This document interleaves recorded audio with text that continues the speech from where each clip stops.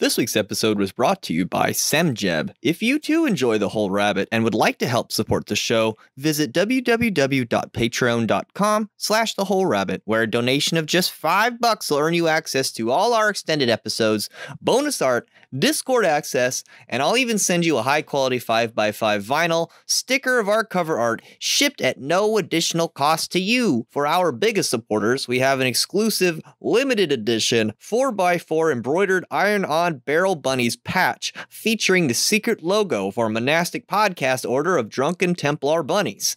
This week, the extended show is available for free on Patreon. You don't even have to sign up. Just go over there, visit us, and hit the play button. You can hear the whole show if you want to. So happy Halloween. Thank you and enjoy the show.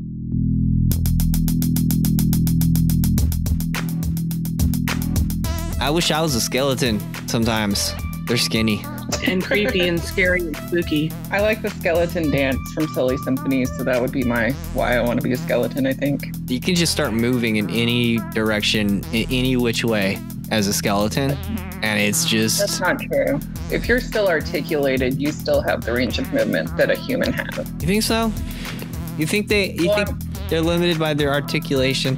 They don't have tendons. Yeah, but some of the joints only go one way. I mean, like your hip joint, I guess in theory could mostly rotate all the way around, but some of them are only like, you know, open, closed. I wonder what skeleton sex is like. Clanky. Bones Like, hey, baby, let's bone. around the bone fire. You just imagine running up on an orgy of skeletons, just this like clickety clackety clickety clackety clickety clackety.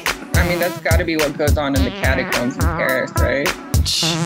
If, I, if Probably. I'm there, They're like, no, everyone get back in your place and don't mess up the pattern this time. Mari, if you were going to be a supernatural creature, what would you be? A werewolf no, that seems like a no-brainer, huh? So I was going to guess, but you know, I try not to assume things. or a fairy, Uh, but yeah. probably probably both a dog, werewolf, fairy thing. No, we're going to talk about that today. Hello, everybody, and welcome to the Whole Rabbit, where we don't just rob little innocent children of their milk duds to give as offerings to our elder deities, teeping houses and burning down the abandoned ones. No, we venture into the untended wood behind the Chuck E. Cheese and go snooping for fairy doors that we might gain access to the underworld and meet the Pumpkin King himself. Because this week we're discussing Halloween, Samhain, Suin, Sawu. Um, this week I'm joined by Mari Sama, the Queen Woof.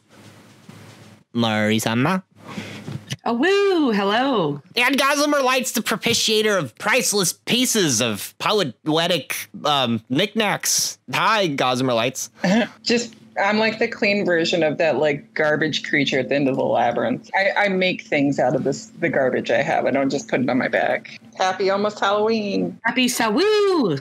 I, I, I liked what was it, Samhain. I was like, oh wow, yeah, mi- middle road that you guys, middle road that. Yeah, you know, how do we pronounce this stuff? Let's uh let's get that out of the way. Is it Samhain or S- or S- Samhain? Samhain. Samhain. Yeah, the person I saw that was saying Samhain was uh, very British. I just liked it because it was funny. Out of all the languages I've ever had to bash my head up against just reading, I think Irish and Gaelic and that whole Celtic trip of language is the most frustrating. Yeah, it's really confusing. I feel like there's just a bunch of extra letters in there for them to say while they're still thinking while Yes, they're talking. yes! It's just like blah blah blah, blah, and they're you know it just keeps making noise, and then they get to the word. Yes, it yes, it's uh, it's it's the opposite of German. There's like no silent letters. You just sound them out, even the long ones. Yep. This one is just like that doesn't look anything like how you say it. I mean, isn't that what letters are for? Well, talk to the French on that. Yeah, let's You talk know, to the they- French on that. Let's do They it. put, they put extra letters in theirs too. The fuck are they thinking? But they gave us all the food we like, so we let it slide. Yeah, that's true. Eh, yeah, I give you that. Like freedom fries. No, no, that's all American, yo. I, I, I think that the Irish are just like rebels to the core, so they just completely refuse to Romanize. Even they're like, yeah, we'll use your alphabet, kinda. Well, the Irish weren't conquered, really. No, they they eventually agreed to like kind of cooperate. I hear the IRA finally disbanded, air quotes. But yeah, they're they're an interesting people. Do y'all ever listen to the Cranberries? Oh yes. My dog's name is Zombie. Dude, people sing that. Oh my god, yes.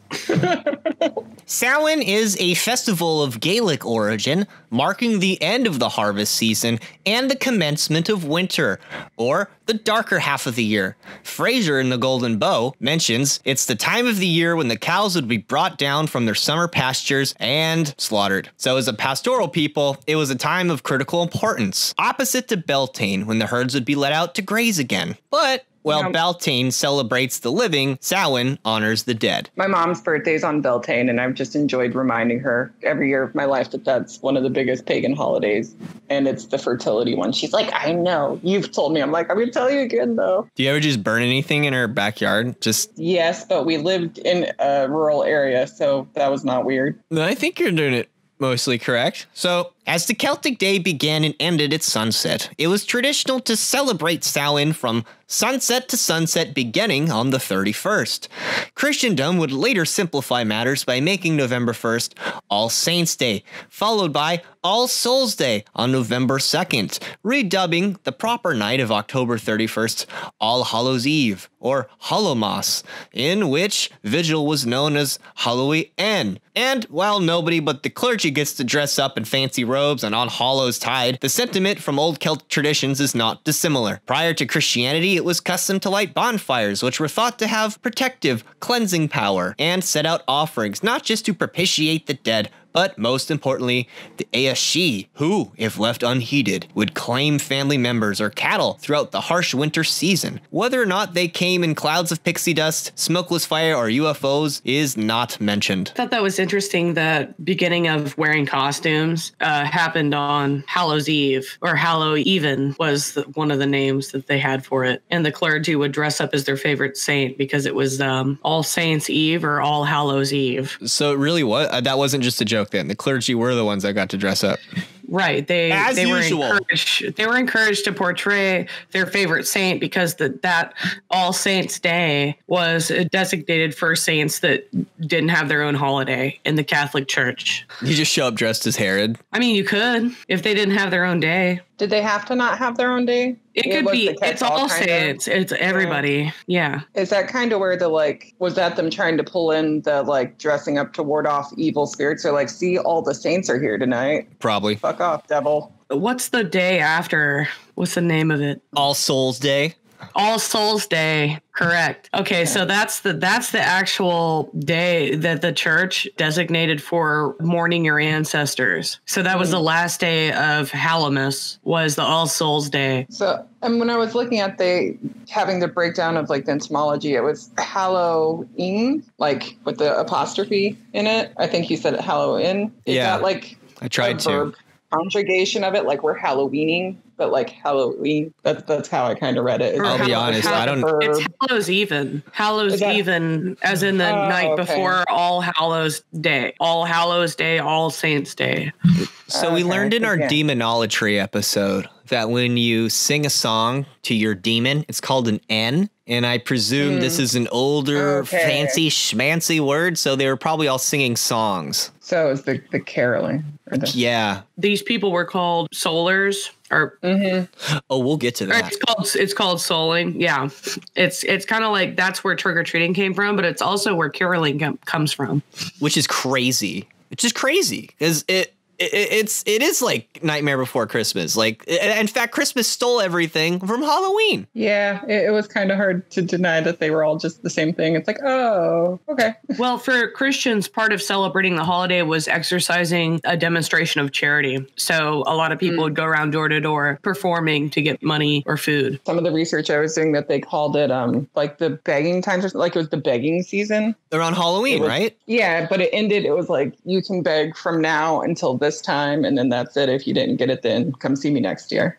And now it's Yeah. like the dating season. It's kind of the same thing. Oof, that sounded personal. So who are the Aoshi? Because we just said that that's the night they come out, and that's such a fancy name. It sounds like aliens. So I mean, they could come in UFOs. I did suggest that was a, a possibility. They're spirit people. Well, some scholars speculate they're the old pagan gods or deities of the past. Well, others claim they're the elder race from whence the Fae come, and they're in some way related. Also, gnomes, goblins, trolls. You All know, my favorite elves, everything. Favorite people, all the things.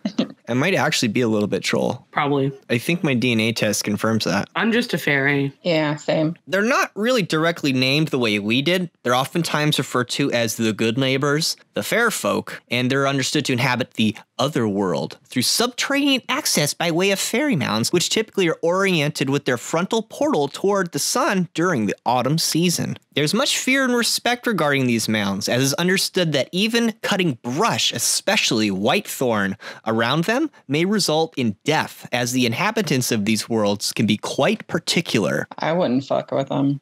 Well, they're the guardians and the tricksters of nature, and they come from burial mounds, which indicates that they're kind of like they haunt graveyards. I mean, it's like the beginnings of that um, spirits in the graveyard myth. Yes.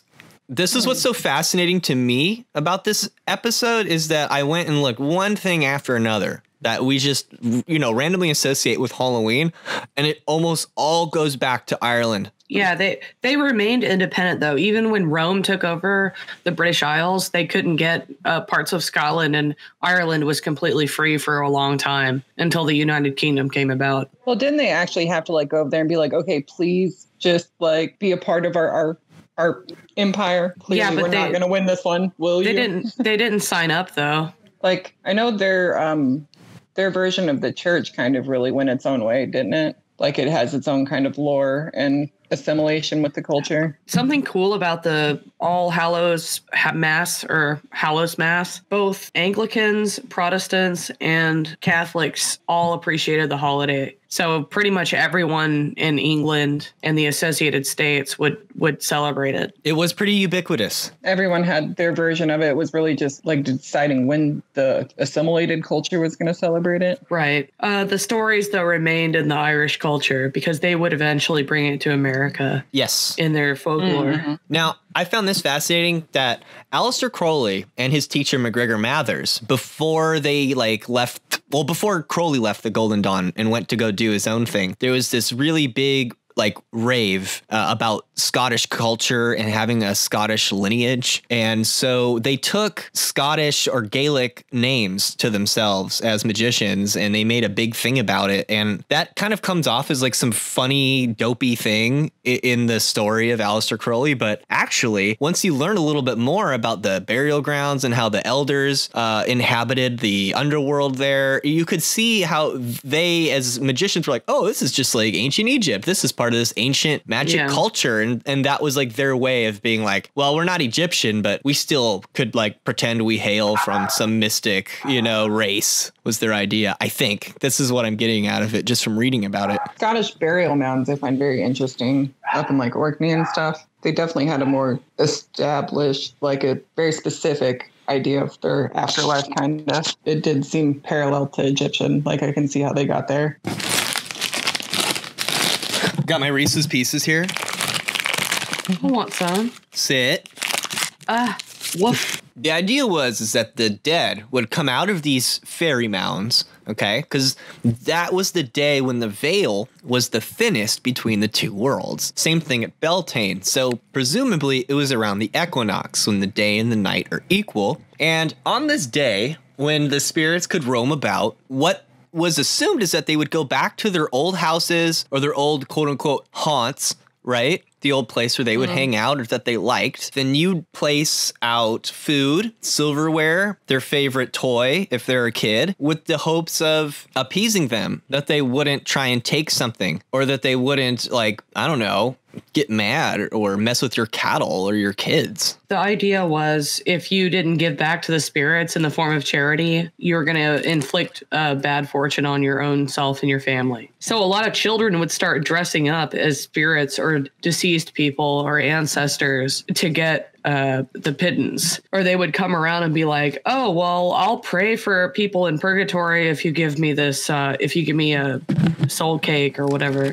Mmm, soul cake. Mm-hmm. They were little I- I- spice cakes like cookies. I did like how the Christians kind of are the ones that started a lot of what we know as Halloween, and I wasn't the soul cake kind of part of their thing.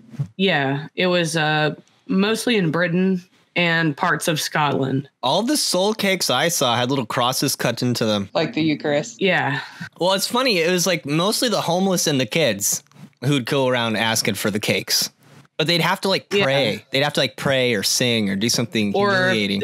A lot of people wore costumes and did presentations like a little act or a magic show or a fortune telling. So a trick for a treat. Little play. Exactly. they did the trick for the treat. It wasn't necessarily the other way around. I like the cultures where it said it kind of started as almost like a pagan protest to the Christian takeover. They just put on masks and go like, that's where like the mischief end of it came from. They're like, we'll just go mess with them. Yeah. And they started, but then they, what they started including Saint Nick, and that's when it transitioned to Christmas. I think they're like, if we send a saint with them, then they can't be evil.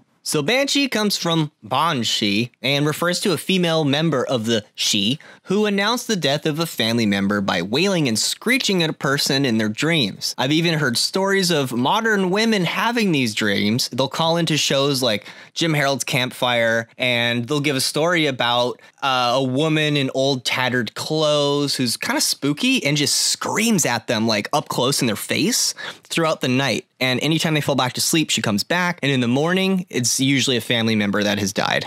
Oh, yeah. It's a bad omen. And it's funny because it is traditionally one banshee is attached to one specific family, like it's not just like all of an Ireland thing. Like I, I'm super Irish. My mom is on both sides of my family. I'm super Irish, but Yeah. from my mom's side down, all of us women in the family, we do have dreams. We know when someone's going to die in the family. It's like someone's about to, and it's like, oh, there it goes. Okay, so that's the That's- thing. Yeah. hmm My mom, she's super Christian, but she's like, but I do know when people are going to die. I have dreams about it. And in the more recent years, I've started having experiences when people are going to die that I know and love. So it's a real thing. Now, there's another one who has a name like Banshee, but I think it's Bean Nighe or Nai. I can't pronounce these words. And she's a washwoman who's seen washing the bloody clothes or armor of a person who's doomed to die. Then the Lenan Lenansi is a fairy lover. There's also a cat she and a coo she, which is a dog. In fact, a fairy dog. Yeah. that sounds so cute. I think of the dog from Coco. But what was the second one? The washerwoman? Yeah, she. You can, she if you see an old nasty woman washing the armor or the clothes of somebody, especially if it's covered in blood, that person's screwed. Like they're dead. They're Is, doomed to isn't die. that isn't that one specifically to die in battle though? Probably. I didn't see that. I know, I know. I don't have that. But Oh no, I'm just I, mean, from my like lifetime of previous research. I think I remember that one. I think it's a safe assumption. This is a funny word when you see the word she, because we're getting to the cat she. And when you look at the word, it looks like the word Sith. If you just sound it out, it's Sith. So on my notes, it looks like it says cat Sith. And furthermore, I thought about this a little bit how Aleister Crowley and MacGregor Mathers were part of this clandestine secret order and they gave themselves these like weird Scottish Irish last names. And then you find out that they were doing this because they wanted to think of themselves as descendants of this ancient race, the Aoshi, right? Which is spelled Yeah. Sith. And then any Star Wars nerd will know that for some reason, all the bad guys in Star Wars like to associate themselves with an ancient mystic race called the Sith. And they give themselves their own like little magical name based on this language or idea of the Sith. But you never actually see these things. Like, who are they? Where are they? Right. And the only time, like, even at the end of the film, when you eventually find the Emperor in his lair and, and you see these quote unquote Sith, they're all just like in a giant burial mound, basically. They're like mummies. Yeah. Is this where we find out that Star Wars has just been like Sam Haining the word Sith? Yeah. Probably. That yes, like it's almost a one to one comparison. When I saw, I was like Sith, and then I thought about it, and I was like, you know, if there's any commentary about Aleister Crowley and relating him to Anakin, and just like that whole idea of the Sith, like it seems like dude knew what he was talking about. He that was a really clever thing to throw into that world because it's It's like our world. You know me. I love to relate everything on the show back to Star Wars. yeah. Yeah, well, that that'll be the next thing that George Lucas changes in the next re-release. Well, I don't think there's anyone that thinks that's boring or that's an uninteresting part of No, Star Wars. I- Everyone wants to know more about the Sith. Perhaps. I, I find it. Mari's funny like, I don't care. You know, I, I, do- I don't Star Wars. I full Harry Potter over here. Uh, Voldemort was in that one Star Wars movie. That was cool. Snoke. Uh, Snook. Yeah, whatever that guy's name is. I was So- like, oh look, Voldemort's here. So let's get to the cat Sith, or as you could say more correctly, the cat she. So the cat she or fairy cat is a dog-sized black cat with a white patch on its chest, said to be native to the other world. It was a common belief that the cat itself was actually a witch, transforming herself, a power that could only be used eight times. four on the ninth transformation, it would render the witch a cat forever, which gave rise to the superstition of cats having nine lives. It was traditional to leave out a saucer of milk on Samhain for the cat she, otherwise Aw. they might become offended and bewitch your cattle from producing any milk throughout the winter. You know, it's funny how many tie-ins I'm seeing to Howl's Moving Castle because yeah, that, that's a big thing. He keeps changing into a bird, and Calcifer's like, you're not going to be able to change back soon. Oh, it's like that. One cultural tradition associated with cats in the Scottish Highlands includes their distraction and separation from the dead prior to a funeral, as it was believed the cat was able to abscond with the soul of the dead prior to its reception by the gods. As such, there was a guard who presided over the body all throughout the wake, including the late night hours, where its primary responsibility was distracting and playing games with the cat to prevent it from stealing the soul of the beloved family member. To accomplish keeping the cat away, fires were lit in every room aside from the one where the dead body was placed in hopes of making every other room more cozy. While games and catnip were common fixtures, as it was also custom to sing entertainment songs to the cat and tell it riddles without offering it an answer, as to bedevil and perplex the feline to keep its mind off its proclivity for stealing the souls of the dead. Yeah, no, this this is just their polite way of saying we got to keep the cat from eating their face until we bury them.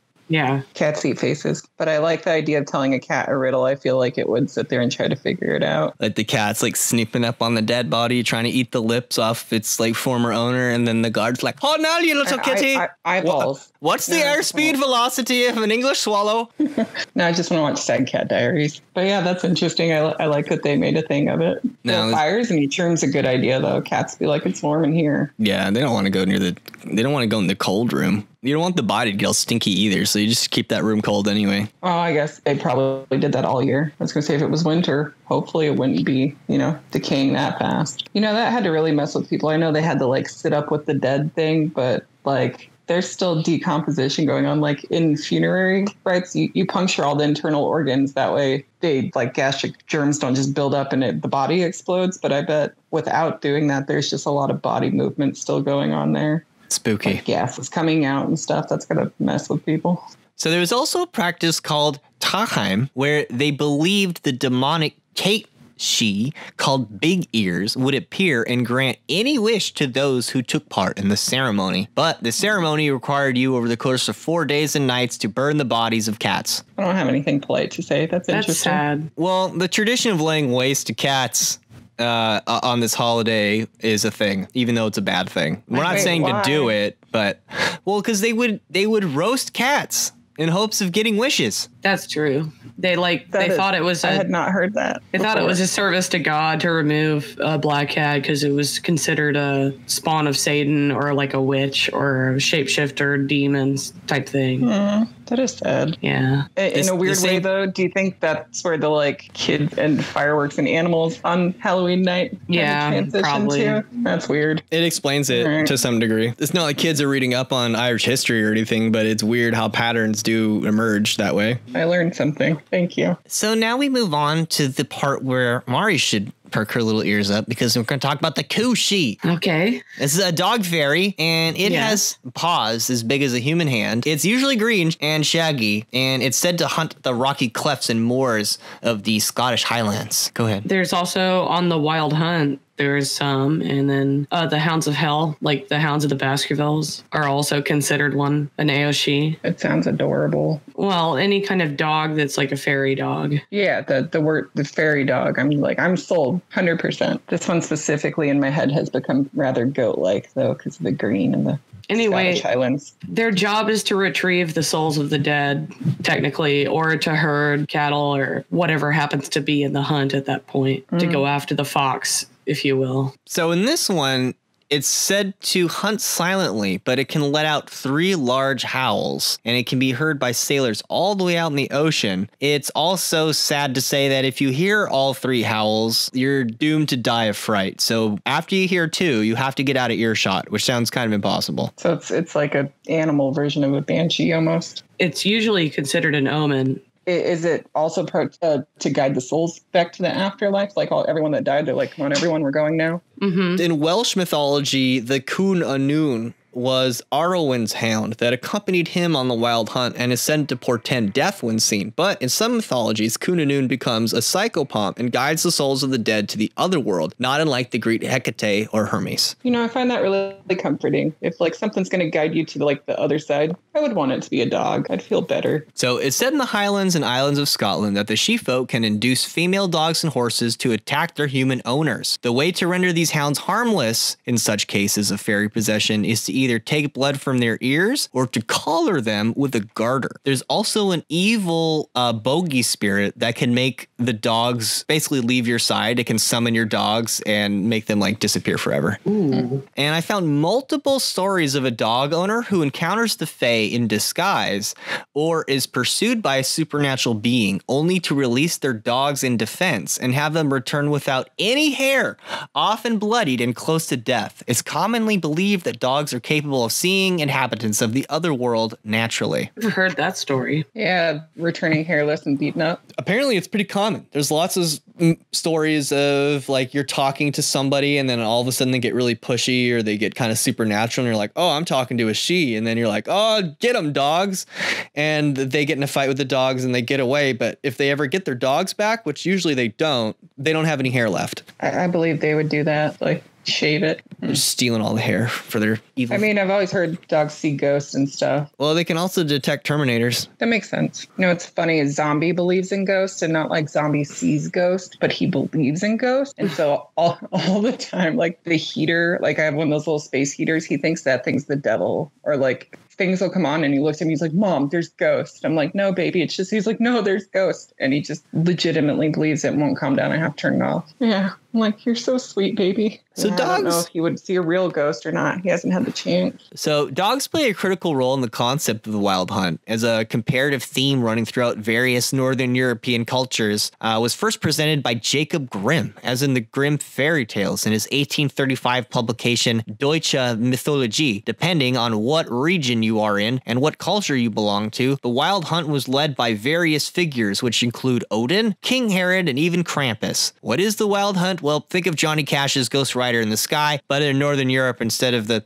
hellish red-eyed cowboys and their horses, it's the king of the fairies and his white-bodied, red-eared hellhounds set loose upon the world, chasing down murderers and criminals the way their victims had been chased. Usually, hearing or glimpsing the wild hunt portends war or a battle, but at best might mean the death of a family member of the seer. Some even speculate this is where the idea of the witches' Sabbath may have come from, or at least informed the idea. Oh yeah, I like I like that connection. I like how we have a modern wild hunt in America, but yeah, it's definitely out to get sinners and people that are doing bad in the world, like criminals, Okay, so the, the righteous don't experience this then. unless they're headed in the wrong direction. I'd say like a Christmas Carol style, like let me scare you back on the right path. probably. Well, the problem with the wild hunt was if you were not conscious or not aware, you would just go up in it and involve yourself in the wild hunt and start chasing along or parading along with them. hmm Mm. I, I can see that, especially if it's supposed to be geared towards the ill-intended. They'd be like, "Whoop, let's go do some bad," and then it just flips on them. Even war itself is a little bit like that. You're like, oh, here we go, off to war, you know? Groups are always more dangerous than individuals. Like, have you ever met a crazy Uber driver? Says the Maybe. Uber driver.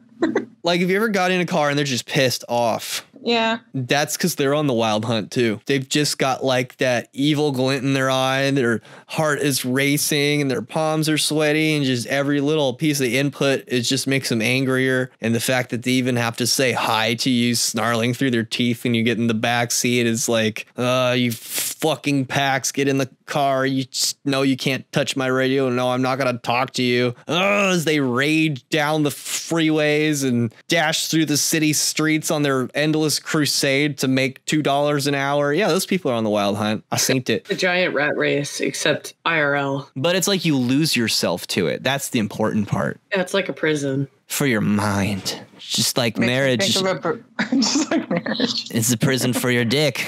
Traditionally, at least in the Highlands of Scotland, the wild hunt was led by Gwyn ap Nudd, or the King of the Fair Ones, and ironically had a blackened face. He features in Arthurian legend and fights Gwythyr every May Day for the hand of Arthur's sister, mimicking the Holly King mythologies. He typically can be found roaming the other world or on Annwn, where it is his responsibility to lord over its devilish inhabitants, lest they invade our world and literally kill everyone. So he's kind of important. According to Speculum Christiani, the 14th century manuscript against divination, wealth, blah, blah, blah, blah, Welsh soothsayers would invoke Gwyn's name before entering woodlands, proclaiming, To the king of the spirits and to his queen, Gwyn ap Nudd, you who are yonder in the forest, for love of your mate, permit us to enter your dwelling. So the fairy king has a ghost dog with red ears instead of a red nose. Eat your heart out, Jack Skellington. And his dogs will fuck you up. They will fuck you up. Oh yeah. Yeah, I think Fae implies like they just win by default always. Jack o' lanterns, I thought were safe, but no. It also goes back to Ireland and the Samhain Festival.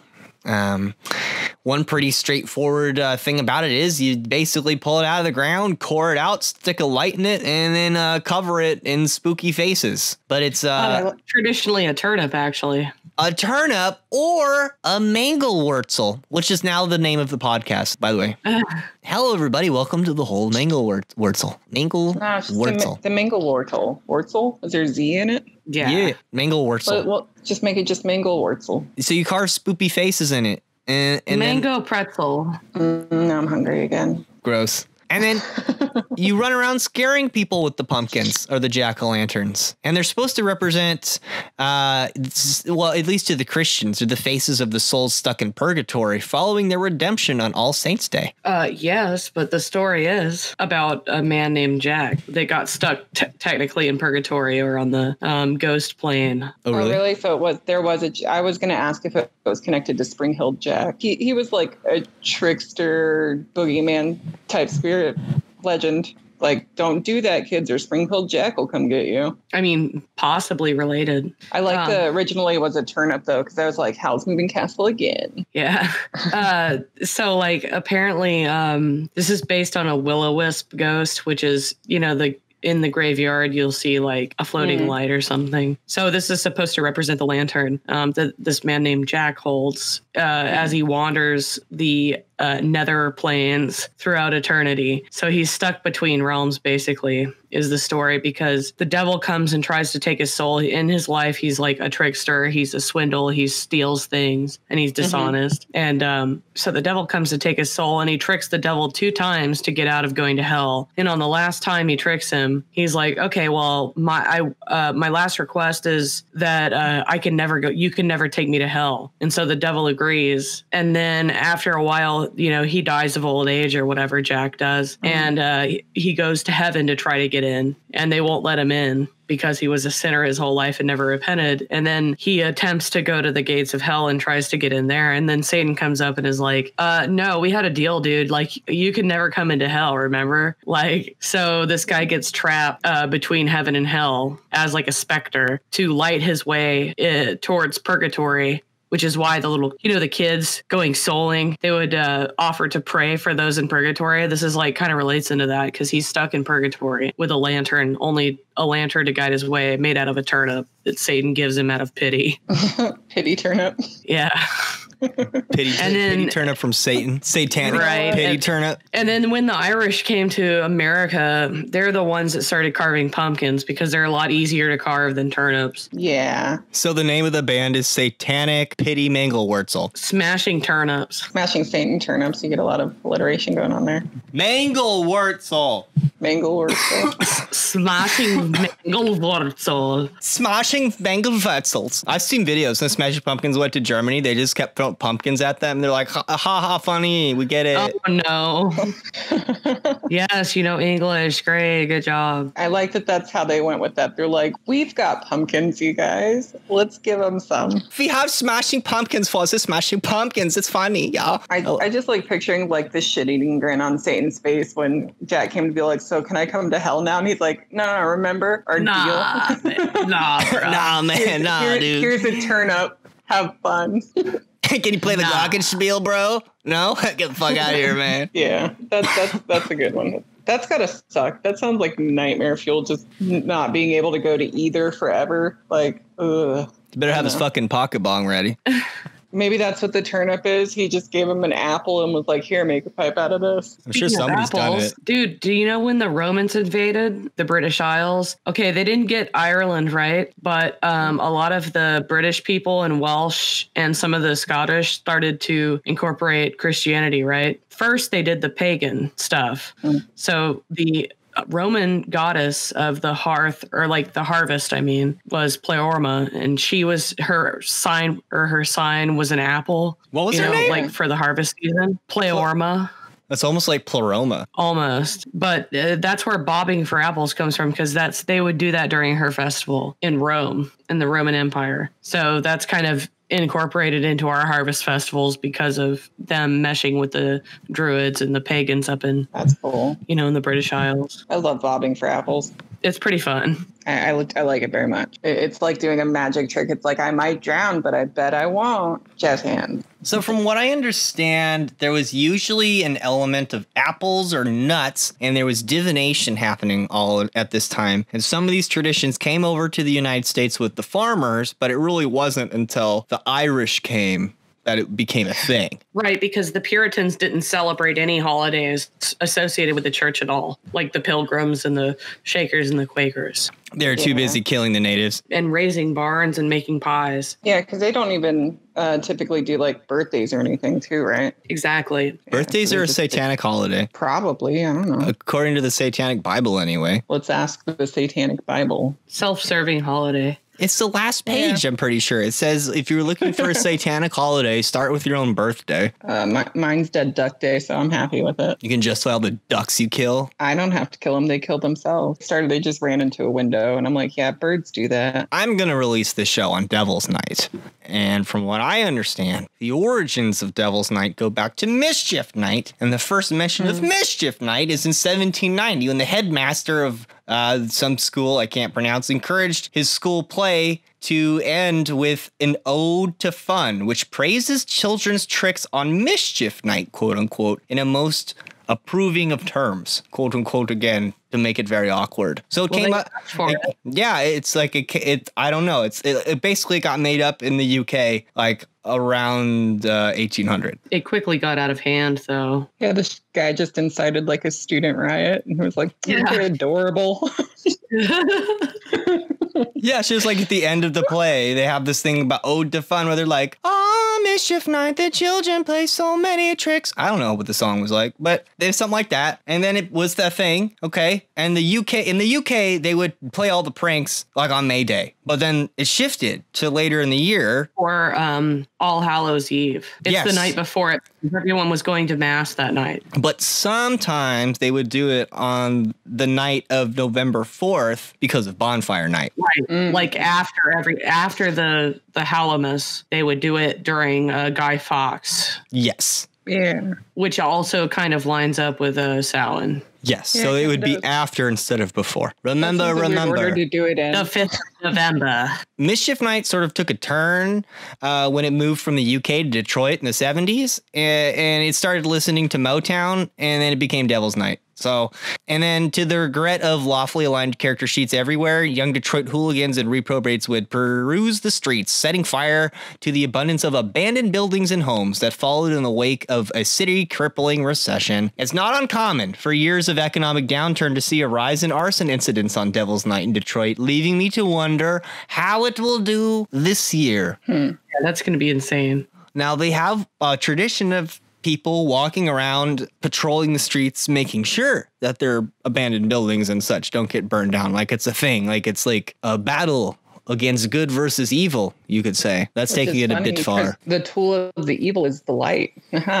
Jack Pumpkin is an angel of light. Mari's got the Freaknik though. We asked Mari off air though. She's never been Freaknik, so we won't. Uh, no, I don't understand. All right. Well, I will explain it, but in order to hear the explanation, you're gonna have to pay me at least five dollars by going to www.patreon.com slash the whole rabbit, where for what I said earlier, five dollars you'll get all our extended shows, the bonus artwork we have, and I'll send you high quality five by five vinyl sticker of our cover art. And if you subscribe to our higher tiers, you'll not only get all that stuff, but you'll get a four by four embroidered iron-on patch that says barrel bunnies on it, and that pretty much means you belong to our strange uh cult dedicated to the goddess Ostara. I don't know. Let's just see what happens. You put the patch on yourself, you'll get all this extra magical energy. And if you decide to get in a fight, you'll probably be able to punch like one or two extra times. I don't know. I haven't tested it, but you can by going to my Patreon. also, there there are pictures of the Freaknik in the Discord, which you get from joining the Patreon. So do that. Thank you, Gosmer Lights. That is included in the $5 tier. Yep. And that patch actually looks really, really cool. I can't wait till mine gets here. I'm excited. You know who designed it? Me. And this, he's not lying. The, the stickers are super high quality. Also made by Mari, right? S- One of them, or some of them. Well, Mari the limited edition Eat Carrots Shoot Laser stickers that were gigantic and expensive to ship have run dry. So anyone who has them, they're pretty rare. The Rabbit Sophia Babylon Baphomet bunny. That's that's all Mm-hmm. me, baby. Or that's actually not me. That's my muse. Because I don't want to take credit for it because I can't draw that well. But I was sitting there and I tried to draw Baphomet and it came out like how a two year old would draw Baphomet. And then I was like, wow, I can't draw. And then I sat down later and I tried again. And then this other thing happened and it definitely wasn't me. And it was the bunny Baphomet. And that's the whole rabbit logo thing for the podcast. And if you want it in sticker form, just get the Patreon. It's mostly about just giving me money because I just I work a lot on the podcast, even though it's Really do, yeah. Also, I like to call it the bunny fomet. Aw, So cute. the bun Love fomet. that's its name there we go. The bun fomet. Oh, that sounds like, No, bunny like the Easter bunny. bunny fomet. Bun, bun fomet sounds like the Easter bunny, though. Like, I like it. bunny fomet's four syllables, so that's what's gonna have to be that. Oh, I I can't syllable. I'm sorry. I don't. That's never a skill I acquired. Bunny fomet. Well, Yeah, but I I'm also like cat. That's three syllables. So no. Cat. Apparently it's a one. So I failed that that test hard. But yeah, that thing's great. Mari's our pronunciator. Mari, can you pronunciate the uh, the thing I want you to say next? Oh, like eat carrots. And shoot Yeah. lasers.